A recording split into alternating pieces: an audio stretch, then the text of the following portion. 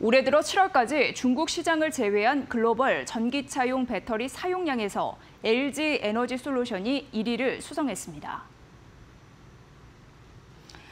시장조사 업체 S&E 리서치는 올해 1월부터 7월까지 중국을 제외한 세계 각국에 등록된 전기차의 배터리 에너지 양은 105.5기가와트시로 작년 같은 기간과 비교해 40% 이상 증가했다고 밝혔습니다. 이 중 LG 에너지 솔루션이 18% 늘어나 1위 자리를 유지했습니다. SK온도 108% 이상 증가해 4위를, 삼성 SDI는 56.6% 성장하며 5위를 차지했습니다.